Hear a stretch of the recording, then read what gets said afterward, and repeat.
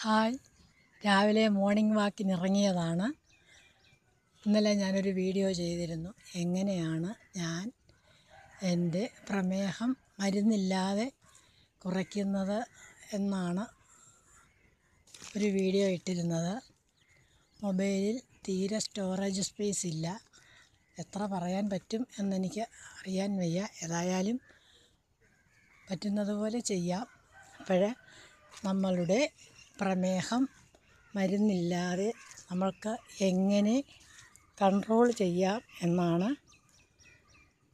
അത്. നമ്മൾ നല്ല രീതിയിൽ നമ്മളുടെ ആഹാരം ആഹാര രീതി ക്രമീകരിക്കുകയും എക്സർസൈസ് ചെയ്യുകയും ചെയ്താൽ തീർച്ചയായും പ്രമേഹം നിയന്ത്രിക്കാവുന്നതാണ്. ജീവിതശൈലി രോഗങ്ങളെല്ലാം തന്നെ നമ്മളുടെ ചിട്ടയായ പ്രവർത്തനങ്ങളിലൂടെ ക്രമീകരിക്കാം.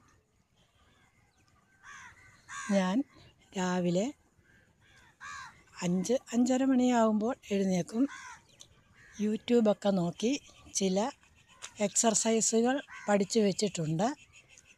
അത്ര ശരിയാണോ എന്നൊന്നും എനിക്കറിയില്ല. എന്നാലും ഞാൻ രാവിലെ അത് ചെയ്യാറുണ്ട്. പിന്നെ പ്രമേഹത്തിന് വേണ്ടിയിട്ട് ഞാൻ ചിറ്റമൃത് അല്ലെങ്കിൽ അമൃത് എന്ന് പറയുന്ന അതിന്റെ തണ്ട് ഒരു വിരലിന്റെ അത്രയും നീളത്തിൽ മുറിച്ച് ചതച്ച് തലേന്ന് രാത്രിയിൽ വെള്ളത്തിലിട്ട് വെച്ചിരിക്കും. അത് എഴുന്നേൽക്കുമ്പോൾ അത് ഞാൻ കുടിക്കാറുണ്ട്. പ്രമേഹത്തിന് അത് നല്ലതാണെന്നാണ് പറയുന്നത്. അതായത് ചിറ്റമൃതിന്റെ തണ്ട് ചതച്ച് വെള്ളത്തിലിട്ട്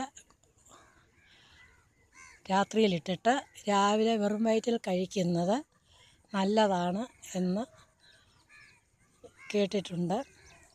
പിന്നെ കുറച്ച് ദിവസമേ ആയുള്ളൂ. ഞാനത് കുടിക്കാൻ തുടങ്ങിയിട്ട്. പിന്നെ ഷുഗർ ടെസ്റ്റ് ചെയ്ത് നോക്കിയില്ല. ഏതായാലും ഷുഗർ കൺട്രോളിലാണ്. അതെനിക്ക് വ്യക്തമായിട്ടറിയാം. പിന്നെ ആഹാര രീതിയും അതുപോലെ ശ്രദ്ധിക്കുന്നുണ്ട്. രാവിലെ എഴുന്നേറ്റാൽ ചിറ്റാമൃത് ചതച്ച് വെള്ളത്തിലിട്ടത് കുടിക്കുക എക്സർസൈസ് ചെയ്യുക രാവിലെ അരമണിക്കൂറെങ്കിലും നടക്കുക. നമ്മളുടെ ആരോഗ്യം നമ്മളുടെ കയ്യിലാണ്. അസുഖങ്ങൾ വന്ന് ചികിത്സിക്കുന്നതിനേക്കാൾ അസുഖം വരാതിരിക്കുന്നതാണ് നല്ലത്. കാര്യമായ അസുഖങ്ങളൊന്നും എനിക്ക് ഉണ്ടായിട്ടില്ല.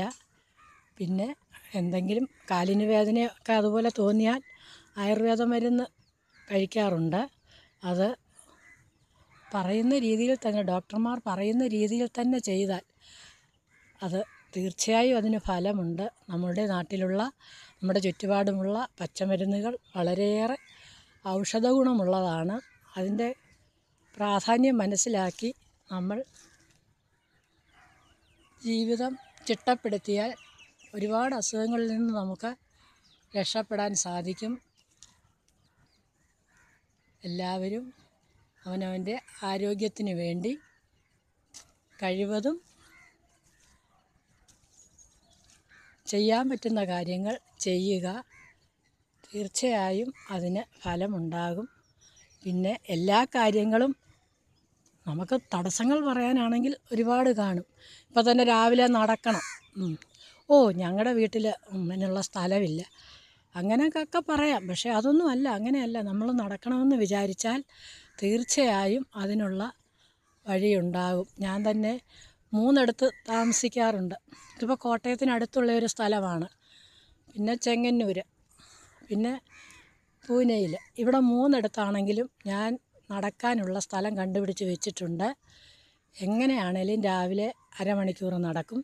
വൈകിട്ടും മിക്കവാറും ദിവസങ്ങളിൽ നടക്കാറുണ്ട്.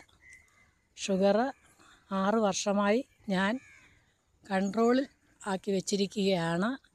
പിന്നെ പല കാര്യങ്ങളും ചെയ്യണം. അതൊക്കെ ഞാൻ പറഞ്ഞു തരാം. എനിക്കിപ്പം ആകെയുള്ളത് ഒരു മൊബൈലാണ് വീഡിയോ ഇടാൻ ഉള്ളത്. കാര്യമായ അറിവുകളൊന്നുമില്ല. പിന്നെ ഏതായാലും ഒരു വിവരം അറിയണമെങ്കിൽ അതിന് എല്ലാ സജ്ജീകരണങ്ങളും വേണം എന്ന് നമ്മൾ നിർബന്ധം പിടിക്കരുത്. നമുക്ക് കാര്യങ്ങൾ മനസ്സിലാകണം അതനുസരിച്ച് ചെയ്യണം. നമ്മുടെ ജീവിതം അതനുസരിച്ച് മുന്നോട്ട് കൊണ്ടുപോകണം. നമ്മൾക്ക് ആരോഗ്യം ഉണ്ടായിരിക്കണം. ആരോഗ്യമുണ്ടെങ്കിലേ ജീവിതം ഫലപ്രദമാവുകയുള്ളൂ. അസുഖം പിടിച്ചിങ്ങനെ ഇരുന്ന് കഴിഞ്ഞാൽ എന്നും മരുന്ന് കഴിച്ചുകൊണ്ടിരുന്നാൽ നമ്മുടെ ആരോഗ്യം നന്നാകുകയില്ല. എനിക്കറിയാം ഞാൻ ഷുഗർ ചെക്ക് ചെയ്യാൻ അടുത്തുള്ള ഒരു ഗവൺമെന്റ് ഹോസ്പിറ്റലിൽ പോകുമ്പോൾ അവിടെ വരുന്ന പ്രായമായ ആളുകൾക്ക്